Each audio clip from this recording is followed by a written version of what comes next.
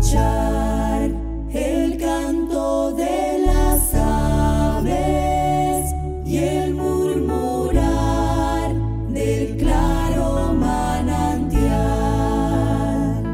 Mi corazón se llena de emoción. Cuán grande es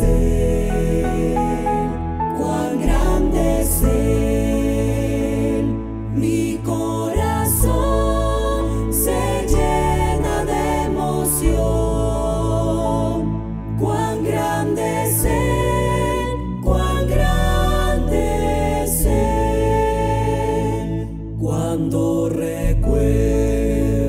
del amor divino que desde el cielo al Salvador envió,